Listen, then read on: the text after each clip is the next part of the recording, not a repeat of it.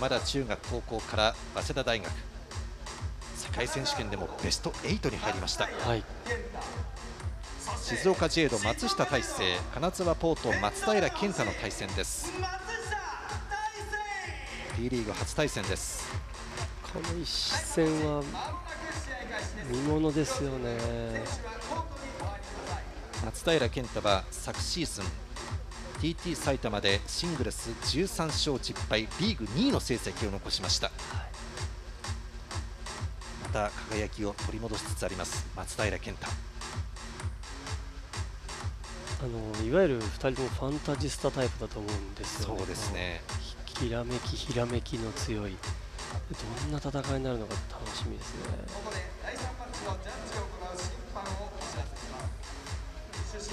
出身は立花真也さん副審は佐藤富子さんです。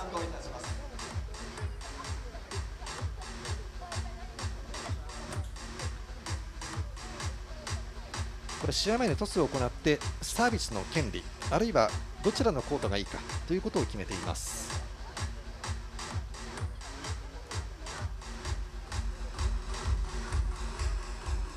まあ、T リーグの場合はセンターにコートを置きますので見え方あんまり変わらないんですけど、はい、背景が壁なのかそれとも他の選手のコートなのかずいぶん違いますからね。そうですね、えー、正面の当たり方も変わったりしますもんね。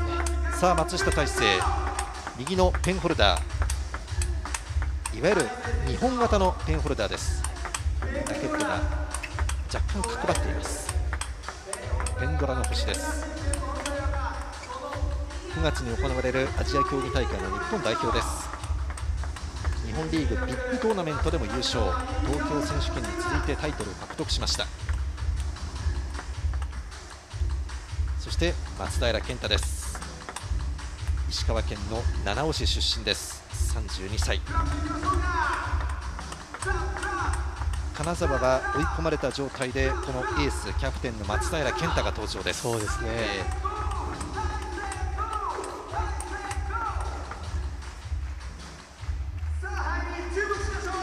上のプレー緩急。松原選手はこうクールに見えますけどこうチーム戦でものすごく熱く試合してくれるのがそうですそうです。見てても気持ちいいですよね。松下とさこのまま自分が負けてそしてチーム負けるそんなことは絶対に許されないんだ、えええ、心の中でそう思っているはずです。さあ試合が始まります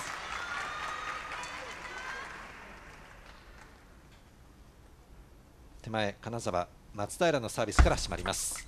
ミドル前チキータオーバーです。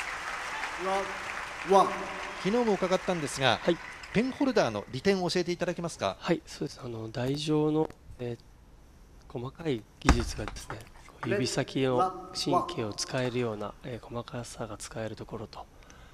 あとはフォアハンドの時にですね力強く打てるっていうのはシェイクにはない強さがあると思います松平健太回り込んでのフォアハンドドライブでした。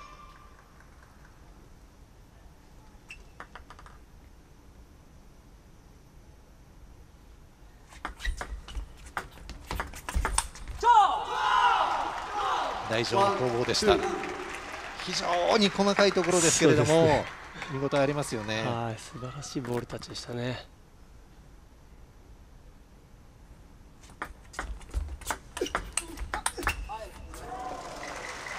ラケットの角に当たったという松下大成まだ鋭いスイングでした、はい、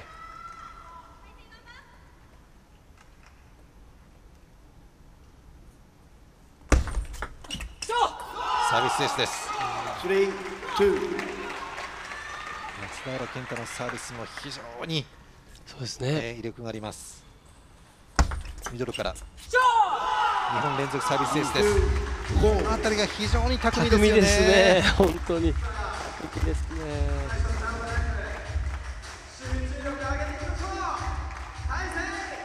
天性のこのボールタッチの柔らかさに加えてそしてこの緩急を自在に操ります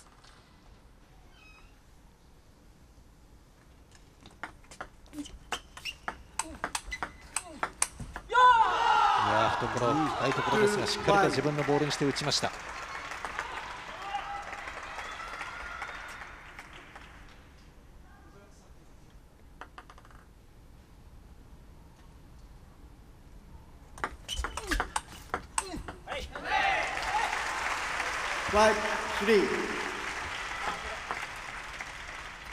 5-3です。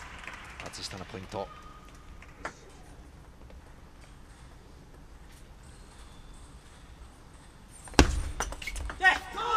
もサービスエースです。Six, three. 出す位置を変えたりトスの高さを変えたりしながら、巧みですね、えー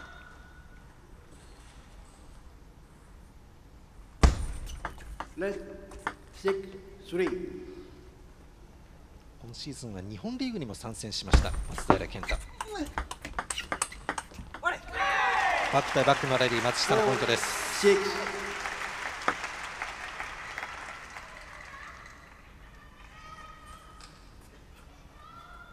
以前以前のペンホルダーというのは裏面にラバーは貼っていなくて片面だったんですがえええ近年のペンホルダーは両面にラバーを貼って見事なフォアハンドドライブです.この豪快なフォアハンドドライブはまさにペンホルダーならではですね。本当そうですね。ペンホルダーのあ魅力的ですね。お父さんは松下裕二さん元日本代表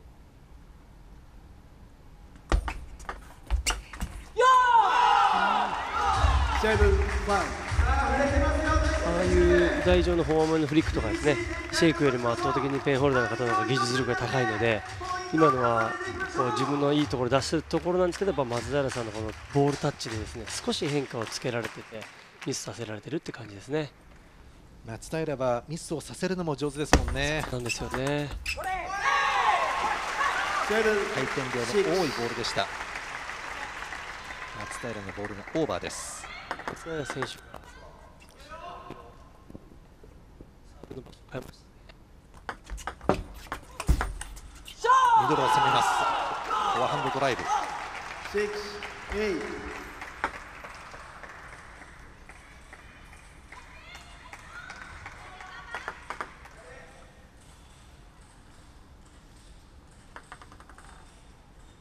松下のサービス。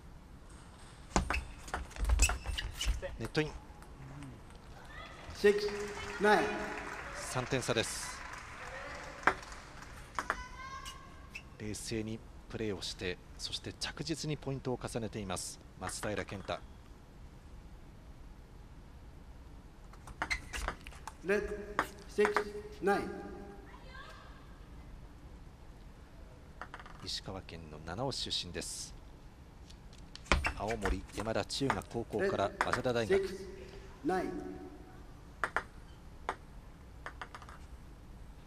ふるさとに帰ってきた松平。い。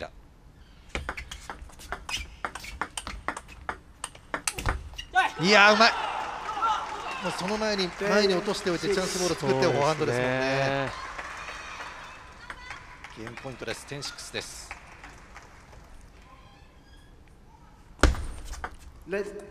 ten, six,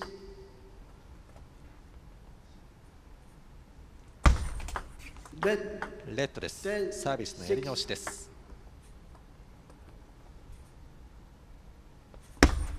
ロングサービス。エッジです。台の角に当たりました。角に当たった場合はエッジでイン。側面に当たった場合はサイドアウトになります。10-7。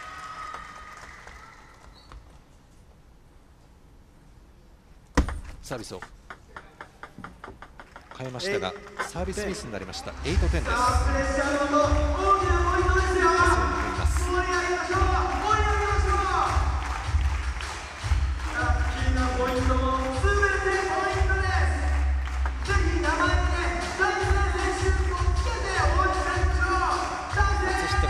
静岡チームとしての勝利後がない金沢はエースキャプテンの松平です。ミドル前。フォアハンドドライブはネットミスです。悔しがった松下大成。ゲーム2松平ようという声を出した松平健太。第1ゲーム逃げ切りました。11-8でした。小林さん、はい。いかがですか？第1ゲーム振り返って